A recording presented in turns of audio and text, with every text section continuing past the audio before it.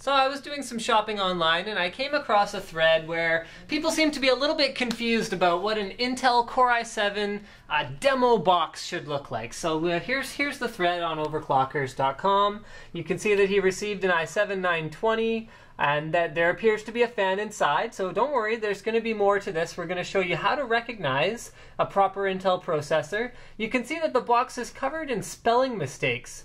Right here, use in a desktop, etc., etc. Hyperthreading is not is not spelled properly as per the Intel uh, trademark. Okay, we keep going. Okay, so why don't we why don't we diverge here and we'll show you what an Intel demo processor box looks like. This is an Intel Core i3 530. Please note the lack of any spelling mistakes whatsoever. There's all the proper information about the CPU inside. All right, you can see a CPU through the window. Please note that it is not made of paper. It is a CPU with a metal heat spreader on the top.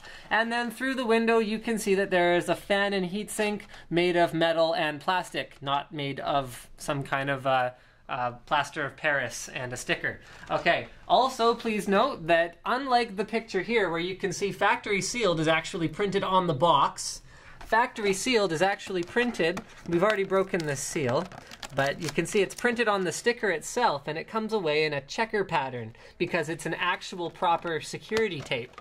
Okay, so why don't we go a little bit further on our on our thread here and see what's going on. Okay, inside, this is what it appears to have come with. So why don't we open up our demo processor and see what we find inside. So we have, uh, as far as the heatsink is concerned, okay, first we've got a processor.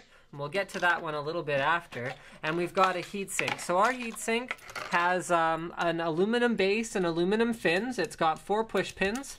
Okay, it has a four pin fan connector and some uh, some spinning blades. Okay, and the one that you could apparently potentially have ended up with looks like this. It looks like a big chunk of beige junk, and there's a sticker on the top that looks like an Intel fan.